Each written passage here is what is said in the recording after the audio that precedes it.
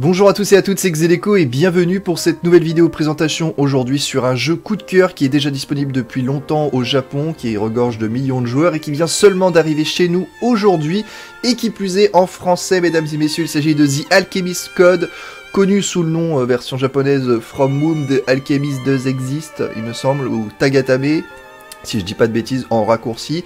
Donc, il s'agit d'un tactical RPG. Si comme moi vous êtes fan de Final Fantasy Tactics en son époque, ou même plus récemment de Disgaea 5, et bah il y a du lourd là-dessus qui travaille. Déjà, vous pouvez entendre la bande son euh, qui, donne un petit peu le ton, hein, on peut le dire.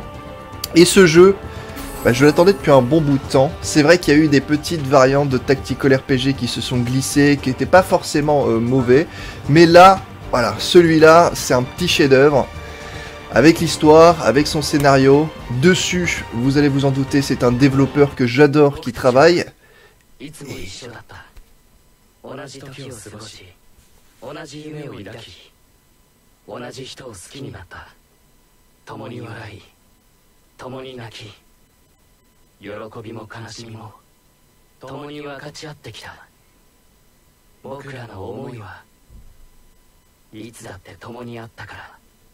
喜びも悲しみも共に分かち合ってきた僕らの思いはいつだって共にあったからしかし僕らはいつか道をたがえてゆく Oh, voilà, on a mis l'ambiance. Après, vous allez avoir une petite cinématique en animé. Hein, vous devriez rester. Il me semble que c'est le cas. Ça va vous donner encore plus le ton et plus la hype. On a la petite introduction qui se met en place.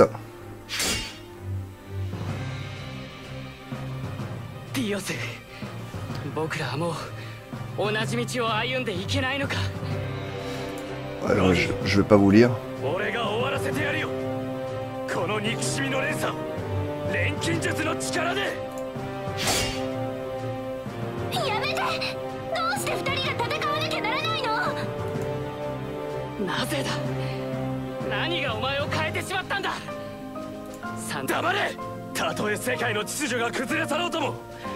俺がこの世界を救ってみせるお前は間違ってる錬金術でこの世界は救えないんだ Putain, déjà le doublage il est ouf. Hein.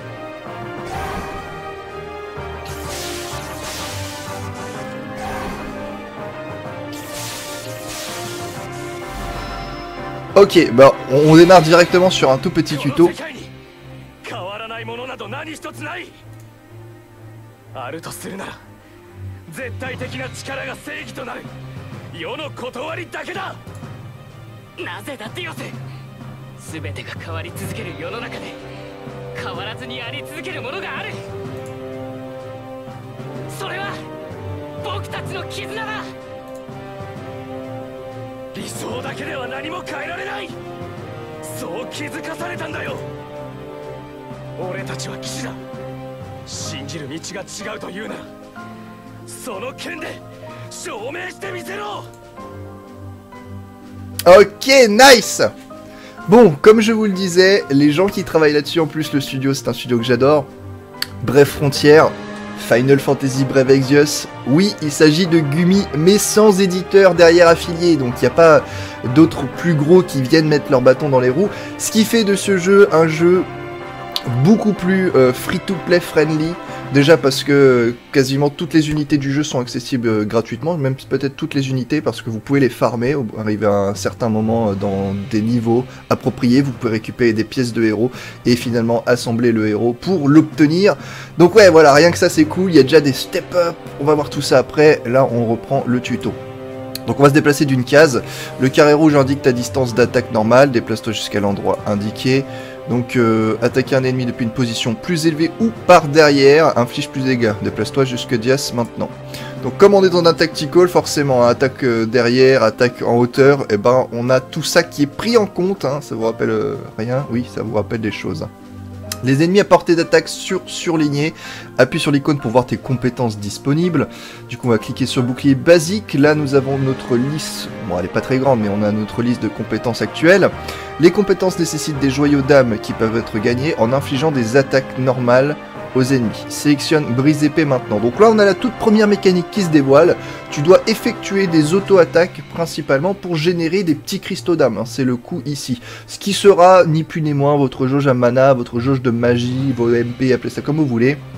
Voilà, on va lancer donc brise épée, inflige des dégâts euh, faibles à l'unité ciblée et baisse son attaque. Distance 1, hauteur 1, forcément. Voilà, on va cibler, ok. Donc on voit les PV qui diminuent.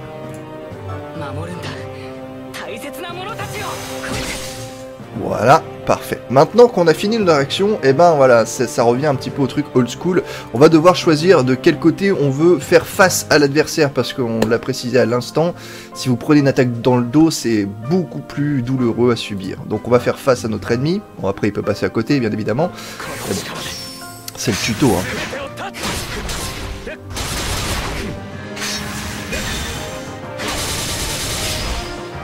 Oh, ces petits effets de particules et tout, quoi. Déconne plus, hein. Voilà, donc là, on va subir une attaque dans le dos. Ça, ça fait mal. Ok, donc Vettel...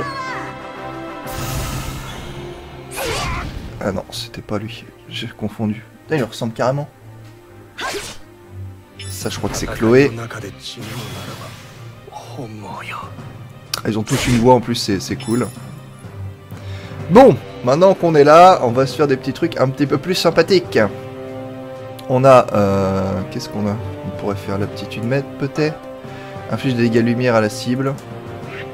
On a le bouclier, donc encore une fois là, parce qu'on on démarre, on a d'autres capacités, puisqu'on a plusieurs catégories, et ça va être le cœur du jeu. C'est un personnage à plusieurs jobs.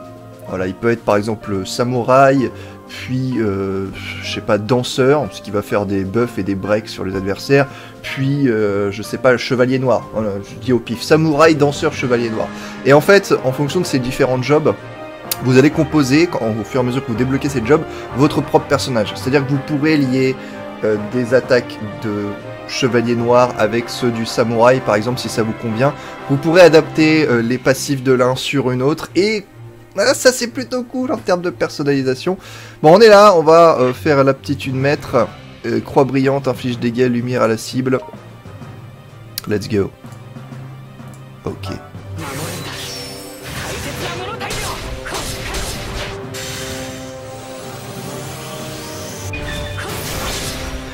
Excalibur Alors, si je crée Excalibur, c'est pas pour rien, hein. vous allez comprendre pourquoi.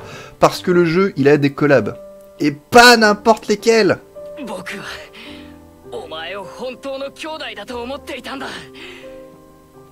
Quand je vous parle de collab, c'est du lourd. Au Japon, ils ont eu des collabs avec, euh, alors ceux que je me souviens, Fate Stay Night, forcément, donc avec Saber, etc., pour ceux qui connaissent.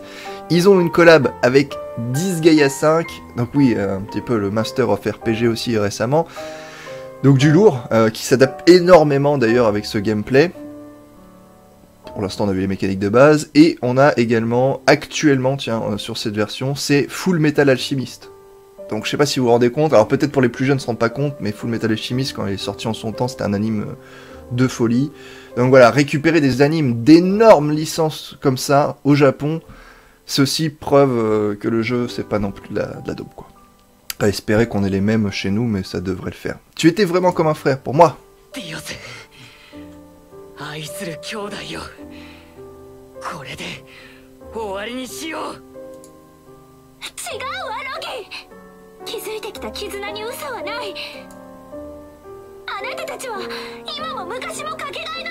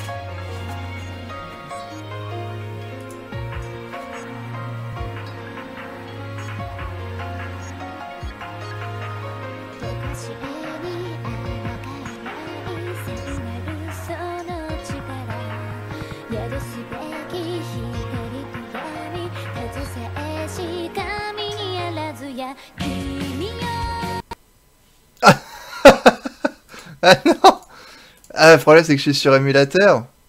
Ah non, me dis pas que ça a sauté la cinématique. Parce que là, je serais bien dégoûté. Ah, le truc imprévu qui se déroule toujours en vidéo, bien sûr. Merci l'émulateur. Moi, sur mon téléphone, j'ai pas eu de problème. Et là, que je l'ai installé vite fait. Allez, la cinématique Me dis pas que ça a tout sauté. Bah sinon, euh, la cinématique, euh, vous allez devoir la voir par vous-même. Hein. Ah, on revoit le petit passage. Bon, espérons que ce soit pas un bug, parce que sinon j'aurai un petit peu les boules. Alors, je le passe.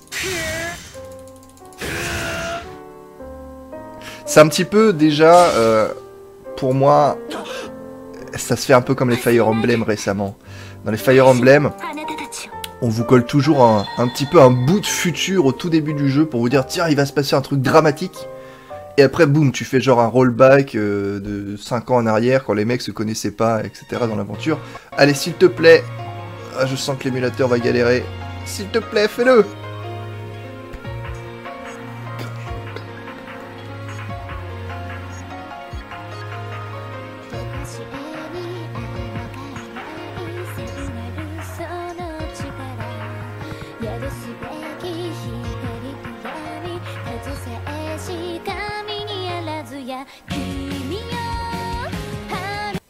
Oh non! T'es pas sérieux. Bon bah du coup je sais ce que je vais faire, on va devoir passer directement la cinématique, je vous récupère tout de suite. Reprise de l'enregistrement, bon euh, l'émulateur devait pas être à jour donc ce que j'ai fait c'est que j'ai directement pris sur mon téléphone puisque j'avais déjà le jeu préinstallé, je l'ai connecté, alors là je suis désolé la qualité est beaucoup moins bien que ce que vous aviez en un petit peu plus HD sur l'émulateur. On va se faire une petite partie de gameplay rapidement puis après je vais en profiter pour vous expliquer tout simplement comment euh, se situe le système d'invocation, on va en faire et quels sont les intérêts, quelles sont les unités à poule aussi pour ceux qui veulent reroll, donc on va faire une petite mission de l'histoire. Si je ne meurs pas euh, bêtement, ça devrait le faire. On va se lancer dans le chapitre 2, petit 1. Donc vous avez votre composition euh, d'équipe, vous pouvez prendre un mercenaire ami, bien évidemment. Il y en a qui sont gratos et il y a des payants, donc faites attention. On va prendre Magnus ici, qui est plutôt cool. Donc là, il y a mes quatre personnages. Vous pouvez en mettre deux secondaires qui vont également prendre de l'XP, c'est intéressant. Vous pouvez setup vos items, bien évidemment, pour euh, la partie classique d'un tactical. Et on va donc se lancer maintenant. Je dispose donc de Vettel, nous avons euh, également Zahar, nous avons Logi, le personnage de base qu'il faudra booster. Et pour les accompagner, j'ai cette petite demoiselle dont j'ai oublié le nom. Let's go, à l'attaque. Même si je sais qu'on n'a pas envie parce que la, la, petite musique était trop bien. Mais c'est pas grave, allez. Là, on est chaud. On va lancer du lourd, croyez-moi. Sur le combat, ça devrait le faire. Oula. Ok, ça va, quand ça bouge pas trop, ça devrait le faire. Donc pour la cinématique, eh ben, faudra la voir par vous-même. Et d'ailleurs, euh, si vous téléchargez le jeu et que vous voyez la cinématique, n'hésitez pas à me dire ce que vous en avez pensé dans les commentaires. Tu es encore fâché, Dias? Je suis désolé, je voulais pas. Nous avons juste des visions différentes, ce monde n'est rien. Nos méthodes ont beau être différentes, nous partageons le même but, celui d'un monde paisible sans souffrance, n'est-ce pas? Hein? Après tout, nous sommes devenus des chevaliers capables de créer un monde où Agatha vivra heureuse. Je vois que tu n'as pas oublié, Dias. Ah, c'est exactement ça. Nos vies sont dédiées à la création d'un gentil joli monde pour cette plenicharde d'Agatha. Oui, et je vais créer à ma propre profession. Notre attaque contre la brigade des lézards n'est que la première étape. Bien dit, mais au fait, pourquoi se dirige-t-il vers ces ruines? Pense que cela a un lien avec les monstres qui y résident. Père Les ruines de Gilrak sont l'endroit où les alchimistes rebelles sont, sont barricadés lorsque l'alchimie a été déclarée interdite. On dit qu'il y reste encore beaucoup de pierres philosophales.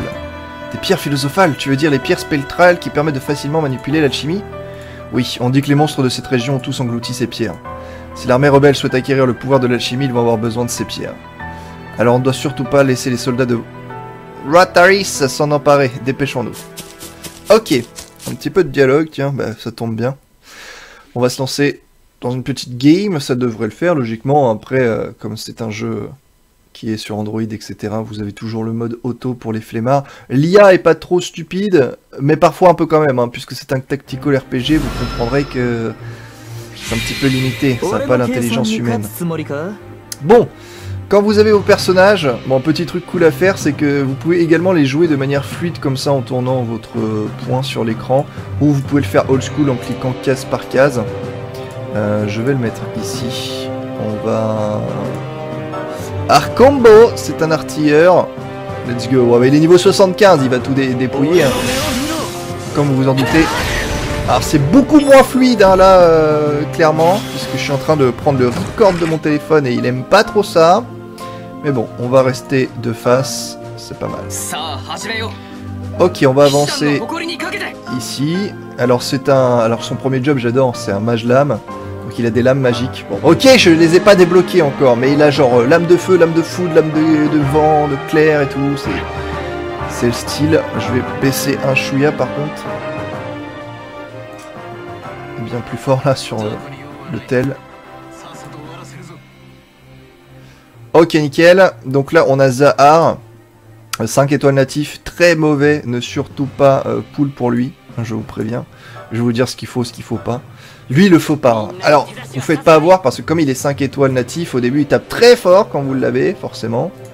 Bah, si vous l'avez en personnage secondaire et que vous avez les meilleurs, bah, c'est toujours un bonus. hein. Vous pourrez démarrer avec. Il tapera fort, il vous aidera et puis vous serez tranquille. Bon, lui, il va à nouveau pouvoir attaquer. Est-ce qu'il peut attaquer? Non, il peut pas attaquer hors ligne de vue. Est-ce qu'on va attaquer comme ça? Qu'est-ce que tu as de beau à nous proposer? Bonus mouvement plus 2, mobilité plus 2 pendant le tour de l'utilisation, c'est pas mal ça. Mobilité en hauteur plus 2 pendant le tour d'utilisation. Et vous avez la vitesse de lancement, parce que oui, j'en ai pas encore parlé, j'attendais mon, mon healer pour le faire, mais on va attendre le healer. Grenade aveuglante, inflige paralysie à toutes les unités dans la zone ciblée, distance 4, zone croix 3 x 3. Ouais, inflige dégâts de feu aux unités dans la zone ciblée, on va prendre celui-là. Est-ce que je peux cibler telle zone? Ça me paraît plutôt pas mal. Ok. Ok, nice, il clean bien. Bon, et maintenant, ça devrait être le, tour bientôt de Maïleuse, puisqu'elle est beaucoup plus lente. Faut savoir qu'il y a des statistiques dans ce RPG, et la vitesse d'action, c'est très important. On va se mettre comme ça. Voilà. L'ennemi vient à nous. Ça fait mal, hein. ils font mal, attention, hein. on vous le dit direct dès le début, c'est au taquet. Bon, je vais vous montrer un petit truc sympa avec ce jeu, en autres termes de mécanique, l'art de prêtresse basique, main guérisseuse. Régénère légèrement les PV des unités alliées dans la zone ciblée, distance 3, zone croix de 3x3, vitesse de lancement 240. Parce que oui, en fait, c'est un petit peu sous forme de jauge euh, d'ATB. Donc vous pouvez faire des zones comme ça euh, qui vont être au sol, bien évidemment comme vous vous en doutez. Mais il y a un autre système, l'art de prêtre basique, régénère légèrement les PV de l'unité alliée ciblée, distance 2, hauteur 2. Euh, je suis pas assez proche. On va se ravancer d'une case. Voilà. Et en fait, si je fais pas de bêtises, quand je vais cibler l'unité... Ok, voilà. Il nous dit cibler l'unité ou la grille. Et ça, c'est également un système important. Parce que, étant donné qu'il y a un temps de cast, un temps de lancement du sort, vous pouvez décider qu'il soit ciblé sur le, le personnage. Pourquoi cibler sur le personnage? Imaginez un autre personnage, un autre ennemi vient à le pousser. Ça c'est important. Et ben du coup s'il est poussé c'est pas grave parce que vous serez en sort sur le, le perso. Donc peu importe ce qui se passera, au final euh, le, le heal sera bon tant qu'il est dans votre zone. A l'inverse, plus pour les DPS, vous pouvez cibler la grille, c'est-à-dire l'endroit où se situe le personnage. Et là ça peut s'avérer également intéressant pour faire des pré-shots de sorts, vous l'aurez compris. Admettons, il y a des personnages avec des téléportations, etc. Vous êtes en PVP, parce que oui, il y aura du joueur contre joueur, je vais expliquer tout ça. Vous sentez que le mec va faire un move. Tu prends ton mage et tu balances une grosse, grosse tempête de feu à un endroit sur la carte. Sauf qu'il y a un temps de chargement, donc ton mage il va être en train de préparer son sort. Et imagine le mec, il se téléporte parce que t'as eu le bon man game, il se téléporte dedans. Et au final, quand ton mage finit son sort, boum Le gars il a la réception. Donc tu peux avoir cette petite décence de, de skill et de stratégie en plus. T'en auras pas forcément besoin au début, mais euh, je pense que pour le PvP c'est assez stylé. Donc on va prendre pour l'unité. Ok. Donc ouais, pré-shot des sorts c'est plutôt cool. Vous pouvez même pré-shot des heals, ce qui est plutôt intéressant aussi. Par exemple, vous voyez si mon personnage ici n'était pas dans la case, voilà, c'est ce qui aurait été influé. Vous regardez un petit peu le temps là-haut avec les ATB. Alors ça c'est pas les ATB, c'est leurs points de, points de sort, les points de mana. Mais euh, vous les voyez arriver comme ça. Ça fait que vous pouvez lancer genre un sort mono-cible, mais pas sur une cible, sur une case. Et si tu vois que ton personnage en l'occurrence celui qui ne devait bénéficier du heal, il joue juste après, et ben en fait le temps de chargement de ton sort, tu fais déplacer le personnage dans la case qui va recevoir le heal, et en fait ça c'est- trop stylé d'avoir un, sort de soin qui était ciblé, mais que tu ne l'as pas fait cibler, tu l'as lancé sur une case et t'as amené l'unité qui en avait besoin dans cette case pour que hop le soin tombe juste après. Il y a plein de petits trucs comme ça à faire, ça c'est vraiment cool. Euh, du coup, euh, on va faire une petite attaque classique. hein. Ok. Bon, l'artilleur c'est bien, mais euh, faut vraiment pas qu'il se prenne au corps à corps, comme vous vous en doutez. Après lui, voilà, niveau 75 euh, d'envoi du party. Ok. Donc voilà pour le gameplay, je pense que vous, avez des bases, en même temps vous avez vu déjà un petit peu dans le tuto. Ça reste du tactical RPG. Il y a plusieurs choses qui sont à prendre en condition, c'est euh, votre personnage, le sens dans lequel il est orienté, également sur la hauteur sur laquelle il est positionné, parce que c'est très important. On va faire une attaque, ou est-ce que j'ai une attaque un peu plus stylée? Drain de sang Ouais, c'est vrai qu'il a, c'est un chevalier noir, donc il a le vol de vie. On va faire une auto-attaque. Vous voyez les petits cristaux rouges absorbés, ça leur donne des points de, cœur là, qui permet de lancer les sorts. Alors par contre, j'avais pas été ouvrir le coffre, c'est pas grave. On a toujours les fameuses missions quotidiennes, y a pas de problème. Et maintenant, je vais prendre quand même un petit moment pour Hop, on va... Et ça, c'était la compétence leader, justement, pour vous expliquer tout ça. Parce que le, le gameplay en soi, maintenant, euh, vous le comprendrez en jouant. Par contre, tout ce qui compose le jeu, c'est un petit peu plus compliqué. Donc on va revenir tout simplement au point d'accueil. Une fois que vous êtes là, en haut, vous avez les logos classiques, les dernières infos qui sont à jour avec les mises à jour, etc. Les cadeaux que vous allez recevoir, bien évidemment, vous pouvez faire récupérer, voilà, c'est magique. Vous avez également euh, les missions. Alors ça c'est un petit peu vos quêtes, euh, les succès dans le jeu. Les lots, donc ça c'est les, les trucs euh, bundle. Les défis. Alors les défis sont à faire. En les faisant, vous pouvez euh, tout simplement... Vous avez un panneau, vous pouvez enlever des missions réalisées et à la fin vous gagnez la, récompense qui était cachée en dessous, tout simplement. Comme euh, quand les calendriers de l'avant. C'est magnifique. Bon, là vous avez euh, les amis, vous avez euh, la boutique, ça porte son nom, hein, vous pouvez vendre vos lingots pour les convertir en zénith. Merci, voilà 2 516 000. Attention, c'est beaucoup et c'est peu en même temps parce que l'argent sur ce jeu ici, il y en a énormément besoin. Vous avez les magasins classiques. Je vais vous expliquer à quoi servent les items. Ok, donc ça c'est la boutique classique. Après, c'est pas la seule boutique. Il parle beaucoup, hein. quand tu fais une vidéo c'est pas pratique. Il y a le magasin secret, pas trop secret. Donc pareil, qui te propose des choses. Voilà, hein, en l'occurrence vous aurez compris, magasin secret, nouveau job, nouveau set, nouveau d'équipement d'unité. Voilà, vous pouvez vous carrément vous prendre des fragments ah là là, ça parle beaucoup, hein Faut se taire maintenant Ok J'ai une vidéo à faire, moi. Voilà. Donc pour ceux qui ne veulent pas euh, l'aléatoire de, poule sur du gacha, vous pouvez directement acheter euh, les fragments du personnage. Au moins, euh, voilà, vous les achetez et vous augmentez vos chances drastiquement hein, de, l'obtenir. Maintenant, c'est quand même cher par rapport au prix du gacha. Quand vous allez voir le prix du gacha, c'est un, un, peu logique. Après, pour les malchanceux, c'est pas excessivement plus cher. Vous avez des boutiques d'échange de pièces, donc ça c'est pour les certains événements, quand il y aura des collabs, tout ça. Les, quand, il, bah, y a des événements, tout simplement, vous obtenez des pièces, vous les échangez là. Bah, ça c'est toutes les formes de boutiques en fait. Sur le menu, il n'y a pas grand chose hormis des boutiques, donc vous comprendrez quand vous aurez la valeur affichée. Tout simplement. Maintenant, en bas à gauche, c'est-à-dire sous moi, vous avez trois euh, petits boutons. Vous avez invoqué, euh, bataille et quête. Si je clique sur quête, nous avons donc l'histoire dont je viens de le faire. Nous avons les événements, je viens d'en parler, c'est quand il y a des événements, ça voit, tu, tu suis. Nous avons le multi. Actu- Oui, parce qu'il y a de la coop sur le jeu. Donc vous pouvez créer un groupe par vous-même, vous pouvez faire un groupe privé ou pas, vous pouvez recruter des joueurs. Et vous pouvez également le faire. Alors c'est principalement sur les vortex, un petit peu si vous jouez à Brave Exvius. Ça c'est des vortex qui te permettent de récupérer des trucs pour les jobs et autres. Et de temps en temps, bah, il y a de nouvelles missions comme euh, je crois Appel de l'âme actuellement pour faire des quêtes multijoueurs. Faut savoir que quand tu vas jouer avec un nouveau joueur avec lequel tu n'as jamais joué, tu vas récupérer, donc ça c'est la monnaie pour les poules, les, les fameux cristaux bleus. Ces gemmes là, c'est ce qui sert à poule. Donc voilà, c'est important d'en avoir. Et je crois que tu en obtiens 5 à chaque fois que tu joues euh, avec un nouveau joueur. Il y a une limite, hein, si vous avez joué à, Ninja Blazing, par contre, vous devez savoir. Invoquer, on va s'y arrêter après.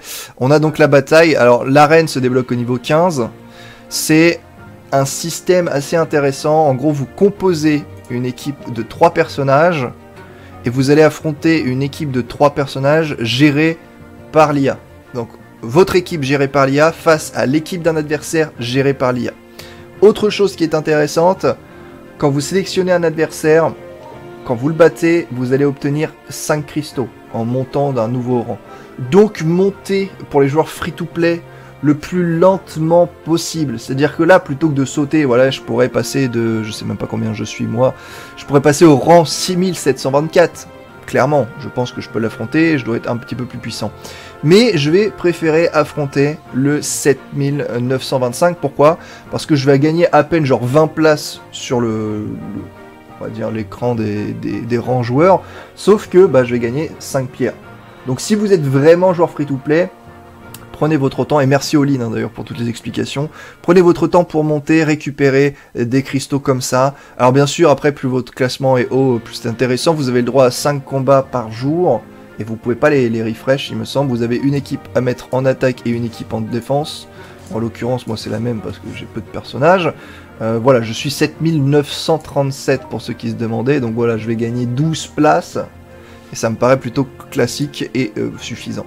Et vous avez donc les boutiques d'échange euh, qui vont vous ramener sur la page d'accueil.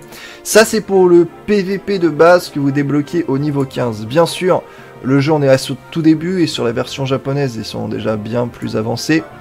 Il y aura du PVP bientôt disponible en temps réel. Là vous avez votre vraie équipe de 4-5 personnages je crois face à un autre joueur. Et là, vous jouez euh, vraiment en temps réel. hein. C'est vous qui déplacez vos unités, c'est vous qui attaquez, il y a différentes arènes, et vous vous retrouvez euh, l'un en face de l'autre, et que le meilleur gagne, j'ai envie de vous dire. Donc là, voilà, il y a du PVP euh, version newbie pour débuter, pour comprendre, dire tiens, moi j'aime bien aussi parce que cette façon que l'IA a de jouer, après ça dépend des unités, hein, ça reste un petit peu pauvre, mais par contre le PVP temps réel, ça c'est quelque chose d'intéressant sur lequel il faudra compter. Donc PVP temps réel, PVP IA, coop, déjà ça vous annonce un petit peu la couleur quand le jeu sort avec ça, ça fait plaisir.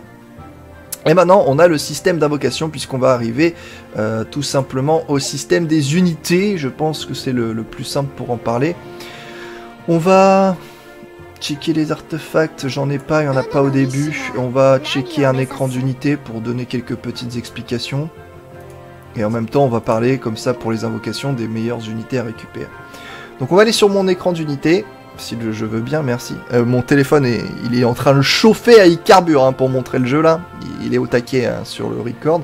Ça va, je suis content, la qualité pas si dégueu. Donc vous, vous- avez mes unités qui sont ici. Euh, elles gagnent de l'XP en combattant, ainsi que les unités secondaires. Vous avez euh, tout à l'heure récupéré des items style... Alors euh, je vais peut-être prendre un... Vitule. Voilà. Voilà, Vettel est stylé. Ok, donc vous avez les stats à gauche. Vous avez les statistiques. Je ne peux pas lui donner de pommes, donc je vais plutôt prendre une autre unité. Est-ce que j'ai une autre unité? Ouais, celle-là, elle était stylée. Je l'adorais, son artwork. Ok, donc ça, c'est son job de base. Et ça se base comme ceci. Le niveau, vous pouvez l'améliorer directement avec genre une pomme, vous voyez. 60 XP, boum, elle récupère, tant mieux, elle est contente, boum, niveau, ah, évidemment, hop, niveau 4. Ah, Je le fais pour bien la vidéo, hein, je massacre tout, mais c'est pas grave, je vais reroll dans la soirée, donc il n'y a pas trop de soucis là-dessus. Donc, une fois qu'on a fait ça, vous avez les jobs qui sont ici. Donc, job voleur, niveau 1 sur 6, vous avez euh, le mage, limite débloqué 5 fois plus, et vous avez l'enchanteur à 15x+. En fait, l'évolution de votre personnage va se faire en plusieurs éta- plusieurs étapes. Déjà de base, vous avez un équipement qui n'est pas un équipement. En gros, c'est repris d'autres free-to-play où vous, en fait, vous faites l'aventure, vous récupérez des trucs de merde et vous faites équiper. En équipant ici euh, les items euh, requis, vous pouvez cliquer sur plus, voir la méthode d'obtention. Ça vous met directement l'instance dans laquelle vous pouvez la trouver. Vous pouvez cliquer dessus. Si c'est une instance que vous avez déjà effectuée, vous pouvez utiliser, si vous en avez des tickets euh, auto-raid, c'est plutôt sympathique, ça vous connaissez. Et ça va vous donner, hop, le résultat de ce que vous avez ou pas, avec l'XP bien évidemment. Donc une fois que vous avez fait ça, Voilà, je pourrais l'équiper, il faut simplement le niveau requis 8, c'est pour ça que je peux pas les équiper, il y a un petit peu plus jaune au lieu d'un plus vert. Quand vous avez complété ces 6 objets requis, eh bien vous allez pouvoir augmenter de niveau de job et passer le job niveau actuellement 2 sur 6. Et là je vais peut-être reprendre euh, mon autre unité, puisque ce sera un petit peu plus parlant, puisqu'elle est déjà sur un job niveau 3.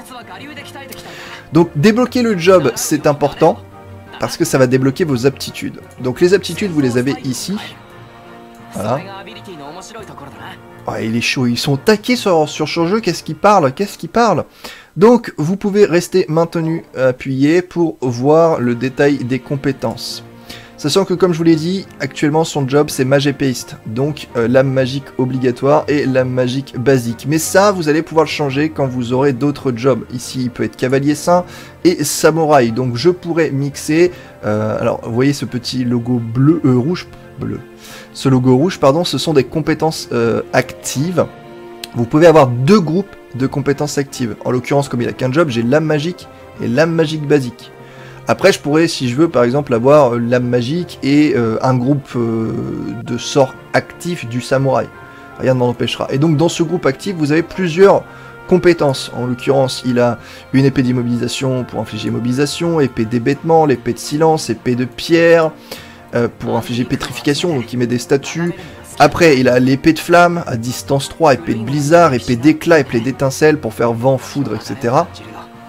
Donc franchement, voilà, ça c'est les compétences de base. Et vous avez les lames magiques basiques. Donc épée de glace, épée de vent, épée de foudre, qui elles ne sont pas à distance. C'est un peu plus classique et vous pouvez les passer plus facilement sur un autre job. En l'occurrence, encore une fois, euh, ici niveau 2, vous voyez que si je veux apprendre euh, le niveau 4, c'est simple. Il faut payer des gold, comme je vous l'ai dit, j'en ai énormément, sauf que regardez euh, l'obtention du coup. 500, 1000, 2000, 10 000, 12 500, 15 000, 17 500 et ça monte comme ça crescendo et ça coûte de plus en plus cher. Donc faites très attention. Ne montez pas n'importe quoi comme je suis en train de le faire puisque de toute façon, voilà, le compte, euh, je suis, en, train de débloquer tous ces sorts. Puis voilà, on s'en fout. Voilà, 50 000. Là, là, on a un bon palier.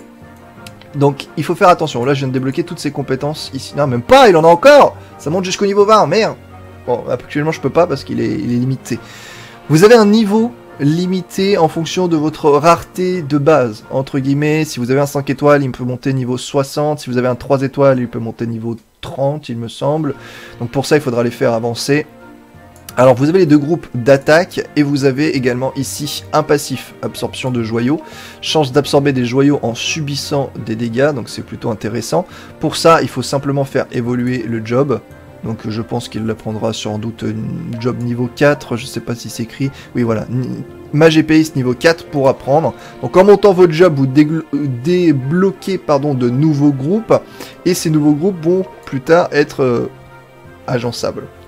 Refuge divin, vous avez euh, donc un passif, augmente les résistances de tous les éléments. Et l'aptitude maître, lui c'est rouillé de la flamme écarlate, augmente l'attaque tranchante et l'agilité. Pour les stats, si vous savez pas ce que, euh, quoi ça correspond, vous pouvez maintenir. Point de vie, c'est l'énergie vitale. euh, attaque physique, défense physique, attaque magique, défense magique. La dextérité influence la puissance et le taux d'attaque. L'agilité, très important, plus est élevé- plus le tour de l'unité arrivera vite. Donc l'unité avec énormément d'agilité joue beaucoup plus que les unités euh, sans, euh, qui sont pas agiles. Honnêtement, le taux de critique, le taux de chance, forcément, le combo, les déplacements. Donc si vous avez genre les assassins de base, les rogues et tout, ils ont euh, ils ont 5 de déplacement de base, ce qui est très bien pour euh, commencer. La hauteur de saut aussi, hein, évidemment, quand t'es limité à 1, bah, ton personnage est obligé de se taper tout un détour selon la map, ce qui peut être très compliqué. Quand t'as des unités qui sautent à 3, euh, t'es content. Et donc on arrive sur la sélection des aptitudes. Et c'est là où vous allez agencer du coup alors votre job de base qui sera bloqué et après euh, les groupes euh, d'autres jobs. Vous pourrez prendre ici la sélection d'aptitudes, euh, deux passifs par exemple, un passif de deux passifs de samouraï si vous le souhaitez, plus un. Alors ça c'est un contre qui est assez intéressant. Capacité protective comme vous avez vu là son contre lui c'est de quand il se fait toucher il peut absorber des, des cristaux, c'est plutôt cool. Donc vous avez votre unité, c'est assez sympathique, euh, ça se passe plutôt bien je pense, et vous avez sa compétence de leader, augmente l'attaque tranchante de 30% pour tout le groupe. Voilà, donc ça je pense qu'on a passé vite fait euh, devant le personnage, et pour dépasser les limites, c'est ce petit euh, coin ici, limite dépassée, il vous faut 5 fragments de VTL pour continuer à l'améliorer.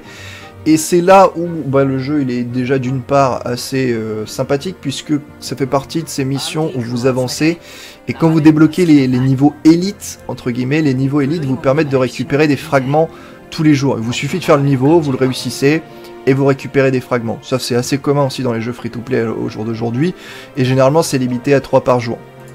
Mais bon, euh, c'est quand même accessible pour tout le monde. Si tu n'as même pas le personnage de base, tu peux te dire, bah celui-là je le veux absolument. Ça peut te prendre un mois et demi, mais c'est des jeux qui sont faits pour durer sur le temps. Et si tu vises les bons personnages, tu peux, si on te garantit de l'obtenir, euh, tu peux te, faire plaisir, quoi, hein, vraiment.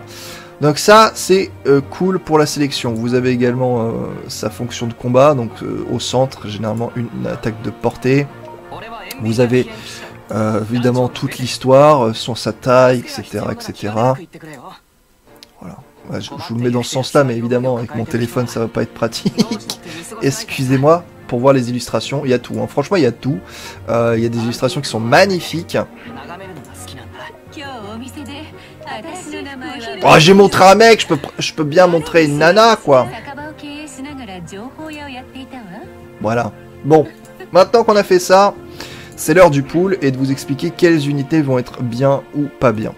Déjà, actuellement, si vous souhaitez faire du reroll pour commencer avec les bonnes unités, j'ai regardé la tier list japonaise, j'ai regardé les tier list avec les personnages qu'on a actuellement, j'ai demandé conseil et encore une fois merci à Olid de m'avoir un petit peu aiguillé. Il y a un perso qui est au-dessus du lot de tout le monde que vous allez pouvoir obtenir. Voilà, c'est ce perso. Si vous faites un rôle, commencez avec ce personnage-là. Il s'agit de Yomi. Yomi, euh, je crois d'ailleurs qui est même dans la bannière améliorée, donc faites-vous plaisir. Euh, Yomi qui a un très bon job ici, qui est euh, dans le deuxième groupe des top tiers, clairement dans, son, rôle. Très très bon. À son niveau, il y a Magnus, qui est également dans le même tiers, mais la problématique de Magnus, on l'a vu tout à l'heure hein, d'ailleurs, c'est qu'il est fort, il est très fort une fois qu'il a son troisième job débloqué. Donc ça pose un petit peu problématique, dans le sens où pour débuter, en fait, cette unité sera très forte, mais pour les nouveaux joueurs, c'est pas forcément le plus utile à choper. Donc si vous avez euh, Yomi, voilà, partez avec Yomi, clairement, euh, c'est le must du must du must. Magnus sera très fort, même niveau Kiyomi, mais le problème c'est que ça prendra beaucoup plus de temps à développer et que ça dépend de votre profil de joueur. Euh, cumuler ces deux 5 étoiles, vous avez ici euh, un 4 étoiles Zangetsu, qui est au même niveau que c'est c'est un tueur, hein. franchement c'est... Là vous pouvez vous faire plaisir, euh, c'est les... Allez, je veux dire si vous avez un pool parfait, vous avez Yomi et Zangetsu, et là euh, c'est au top. Si vous voulez rajouter quelque chose à, à ça, c'est un petit personnage, encore une fois 4 étoiles, pas besoin des 5 étoiles forcément, c'est Rahu, qui est une chronomancienne, et son rôle c'est de, de gérer le temps, et du coup de pouvoir redonner un tour d'action à certaines unités. Donc si vous redonnez un tour d'action à Zangetsu qui tape comme un bourrin, voilà. Donc le trio à posséder, si vous voulez, le reroll parfait, c'est Yomi, euh, Zangetsu et euh, cette petite Rahu. Alors Rahu, c'est pas la seule euh, qui est en mode, pardon, chronomancienne. Il y en a une deuxième. Il s'agit de Lofia. Sauf que Lofia, elle devient chronomancienne dans son troisième job.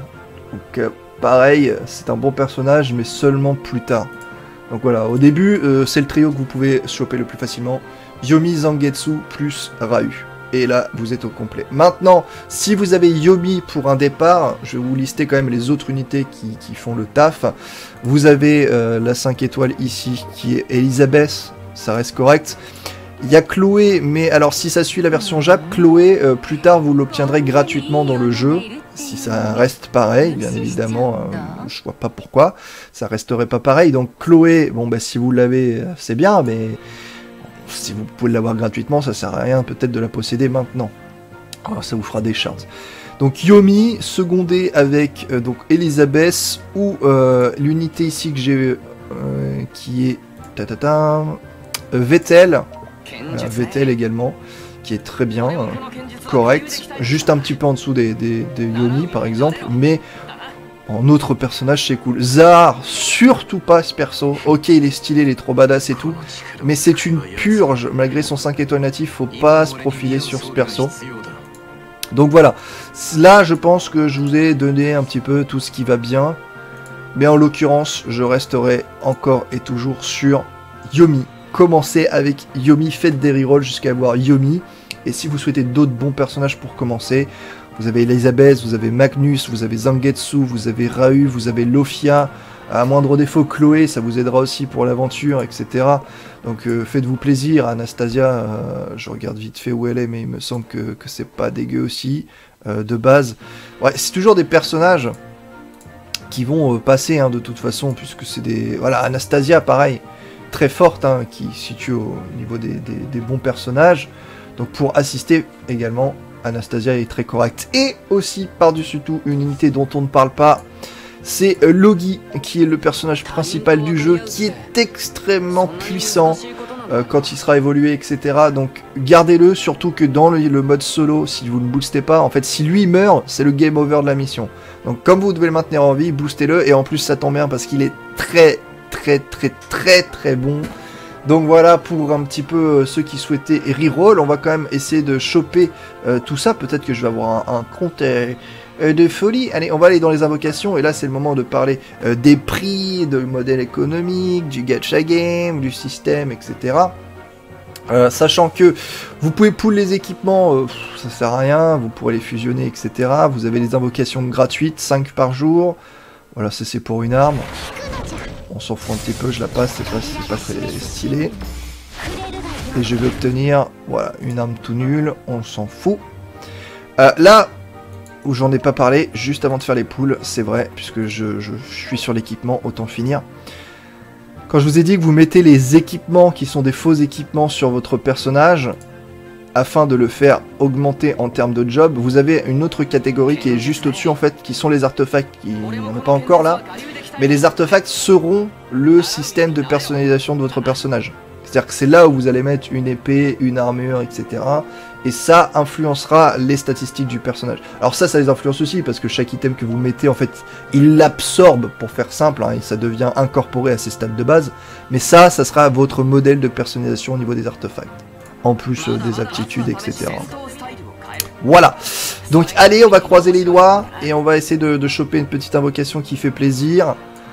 Hop, invoqué. On va parler du système de step-up free-to-play, du système de step-up des bannières, parce que tout ça c'est déjà intégré. Ah Bah oui, Gumi peut faire comme il veut, donc c'est plutôt cool. Donc je vais cliquer sur le détail et on a cette invocation. Faire une invocation 10 plus 1, ça coûte 2500 gemmes bleues, tout simplement. hein, ça, fait plaisir, voilà. Euh, 2500. Sauf que le premier pool vous coûte seulement 500. Euh, C'est énorme, hein, c'est c'est 20% du prix. C'est comme si sur Brave Exvius on vous disait bah, le premier pool il coûtera que 1000 lapis au lieu de 5000. Ah, carrément, moi, je le fais. Hein. Donc tu le fais, le premier pool coûte 500. Donc pour les joueurs free to play, si vous voulez prendre votre temps et tester sur des unités qui, vont bien ou autres, euh, vous pouvez à chaque nouvelle bannière uniquement faire ce premier palier parce que 500 cristaux c'est pas exceptionnellement cher, c'est carrément moins que, que 2500 c'est sûr. Le deuxième palier est à 1500 et le troisième palier est à son même prix, c'est 2500 mais vous avez une unité de la bannière garantie. Voilà, ça c'est le step up entre guillemets des, des free-to-play avec faire que le premier, c'est déjà cool en soi. Donc 500, 1500, 2500 dont une unité garantie. Ça c'est le tout premier step up. Maintenant il y a une, un step up de baleine, on peut dire ça comme ça. C'est un, truc à 9 paliers qui va vous donner des améliorations pour vos personnages. Donc déjà vous allez récupérer des lingots d'or, donc de, l'or, histoire de pouvoir les, les monter un petit peu plus vite. C'est comme si vous preniez un bundle au premier palier. Alors par contre, attention, à ce que là vous les payez 2500 à chaque fois. hein. Ça commence à douiller. Donc les lingots d'or, vous avez des tickets dorés, vous avez à nouveau des lingots d'or, vous avez des euh, 25 invocations, euh, pardon, tickets 25 invocations de fragments d'âme élémentaires x 1. En, en gros 25 tickets, donc ça vous fait 25 fragments élémentaires. Les fragments élémentaires, c'est comme je vous ai dit qu'il fallait des fragments pour débloquer une unité. Ça remplace l'élément de n'importe quelle unité. Par exemple, si l'unité que vous voulez, euh, vous avez, je sais pas, euh, 110 fragments sur 150, eh bien, si vous en manque et que vous avez 50 de ces tickets, si vous avez une unité de feu et que vous avez 40 tickets de fragments feu, eh ben, ils vont remplacer les fragments restants. A l'inverse, les fragments d'âme d'arc-en-ciel, c'est encore au-dessus. Ça remplace n'importe quel personnage. Donc ça, c'est plutôt cool aussi à obtenir dans leur palier. Mais vous voyez, c'est palier 9. Hein. Parce qu'après, vous avez palier 1, 2. Vous avez quand même 4 étoiles plus garantie. Enfin, ticket d'invocation 4 étoiles garantie ici.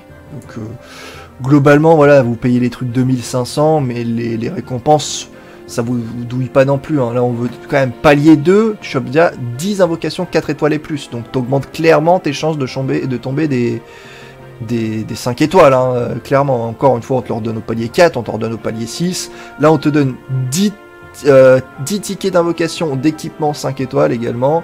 Donc voilà, les cadeaux sont bien, mais c'est 2500 par poule. Et voilà, comme je vous l'ai dit, c'est le truc des baleines. Les fragments d'arc-en-ciel remplacent tout, les tickets élémentaires remplacent juste l'élément. Donc on a une nouvelle euh, bagne- euh, les invocations actuellement qui viennent d'arriver aujourd'hui, elles n'étaient pas avant des invocations d'armure.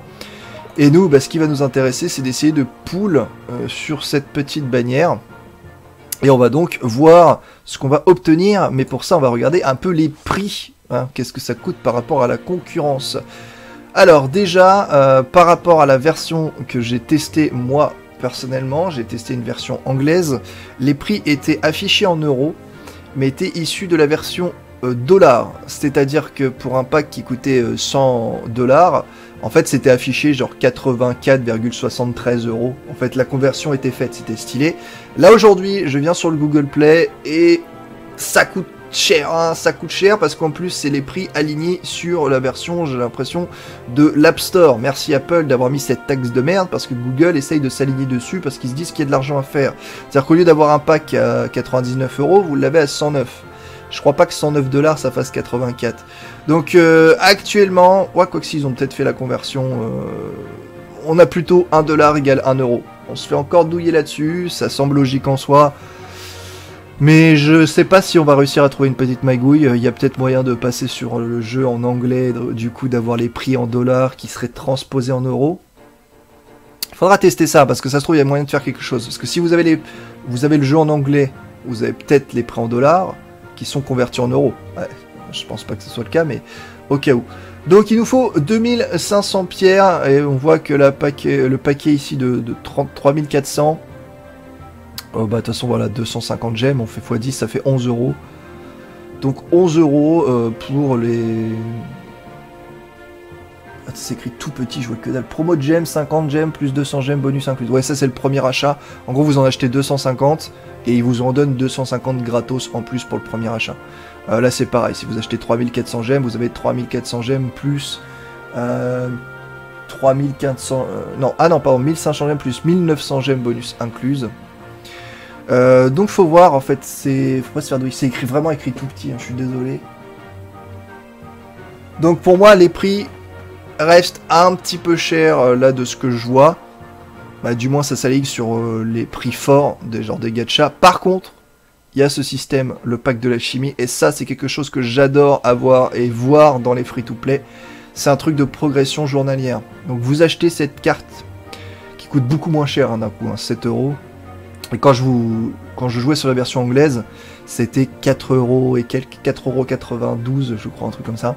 Le pack de l'alchimiste, en, en gros, ça vous donne 300 gemmes, plus 100 gemmes bonus, plus 3 tickets dorés inclus chaque jour. Les tickets dorés, c'est les autoraids. Donc en gros, vous avez 300 gemmes plus 100 gemmes chaque jour pendant 30 jours. Donc oui, 100 x 30, ça fait 3000, plus les 300 de base, ça vous fait 3300 gemmes pour 7 euros. Ça, franchement, c'est ce que j'adore voir sur un free-to-play. Si vous êtes quelqu'un de peu dépensier, ne cherchez même pas à acheter des gemmes, prenez juste ce pack. Ça, c'est généralement, c'est parfait. Faut que je vois si on peut euh, choper un autre truc. Ouais, parce que ça, 3300 gemmes, voilà, sinon c'est en temps normal, c'est 33 euros. Donc vous imaginez les économies de malade. Euh, moi, quand je joue un jeu, généralement, euh, un jeu où je veux pas m'investir financièrement, je prends juste ce truc-là. Ça fait plaisir tous les jours de recevoir ces 100 gemmes. Euh, 3300 gemmes en plus, comme je vous l'ai dit, euh, sur un mois, euh, vous pouvez vous taper quasiment une bannière Step Up 3, quoi. Vous pouvez faire le Ah, là, t'imagines si la bannière changeait toutes les semaines, en gros, tu pourrais faire le premier palier d'invocation toutes les semaines. Indice plus 1 chaque semaine, ça te coûterait que 2000 au final. Bon, allez, là, on y, est. Palier 1 sur 3. Dépenser 5 gemmes pour invoquer. S'il te plaît balance du lourd, on finit en beauté, balance une Yomi, balance un Magnus, balance Anastasia, balance du, du Rahu, Zangetsu, Zangetsu je trouve vraiment stylé. Allez, c'est parti. Allez, deviens rouge, deviens rouge Oui, c'est rouge Arc-en-ciel On en a un. Bon, alors je crois que... Faudra que je regarde les taux, mais c'est plus élevé que ce que vous connaissez des gachas. Donc euh, c'est pas non plus super étonnant d'en voir des rouges. Donc c'est pas 1%, je sais plus le taux, je crois que c'est déjà 3, 3 ou 5%, un truc comme ça. Ouais, je me re-renseigne là-dessus. Ok, fragment d'âme de Kuan, donc on va pouvoir faire dépasser sa limite, monter ses niveaux. Fragment d'âme d'Anne Rose. Ok, donc là on voit qu'on peut dépasser sa limite déjà de 3 crans.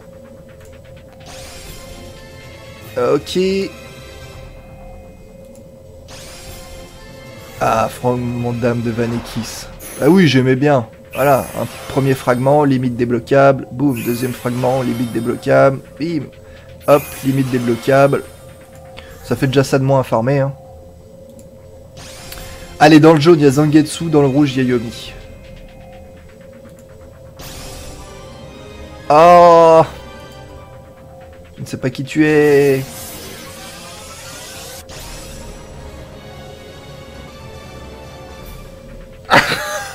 Je sais pas quoi faire. Est-ce que je reroll ou pas?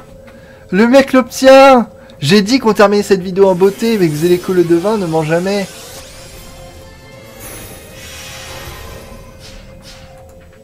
Merde, ça me fait... ça me fait du lourd, là. Euh, donc, qui était cette demoiselle? Ah, mais c'est Lofia Ah, mais la chronomancienne en Job 3 Ah, merde Ben, eh, je vous avais dit que ça serait un bon pool de reroll. Que demande le peuple? Enfin, Je crois que j'ai peut-être même pas besoin de reroll. Euh, ouais, là c'est assez dingue. On va faire euh, les invocations normales, non.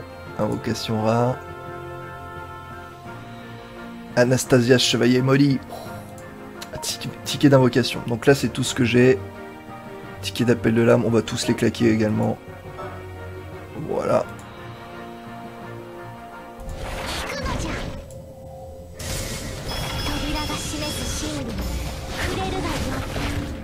Oh, ça fait plaisir. On va le passer maintenant parce que ça, c'est des armes, ça nous intéresse moins. Ok, donc on a des belles armes à mettre. Excellent. On a le ticket d'appel de l'âme. Si des tickets pas invoqués. Ouais, ok. Let's go Bon, je claque tout, hein. de toute façon c'est le début, hein. je me fais plaisir. Euh, je vais peut-être garder ce compte-là et puis essayer de m'en faire un autre reroll. Parce que là, celui-là, il, il est sauvegardé sur mon compte Google Play, donc je vais peut-être pouvoir me, faire une sauvegarde sur un. sur je crois que c'est Facebook que ça utilise aussi.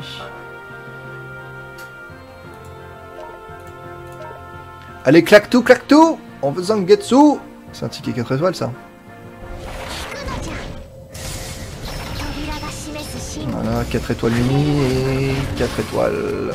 Alors un, crist un cristal jaune peut aussi devenir rouge, hein, bien évidemment. Ça peut péter au dernier moment. Et qui est cette demoiselle? Ah, me dis pas que c'est... euh, Ah non, c'est Mia, magicienne.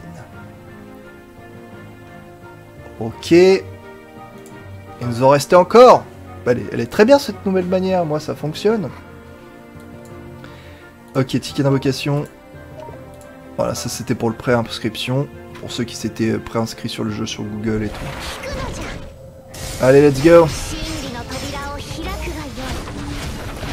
On a eu du 5 étoiles encore une fois. Et on en a eu un, petite cagoule. Bon, ça se passe plutôt bien. Voilà pour cette vidéo de présentation, j'espère qu'elle vous aura plu. Euh, voilà, encore une fois, basez-vous sur les unités que je vous ai conseillées et que Olin m'a conseillé aussi, puisqu'il joue sur la version japonaise depuis un bon bout de temps en free-to-play et qu'il a énormément de bons personnages. Donc voilà, ciao tout le monde, euh, portez-vous bien, à la prochaine, prenez soin de vous et amusez-vous. Bye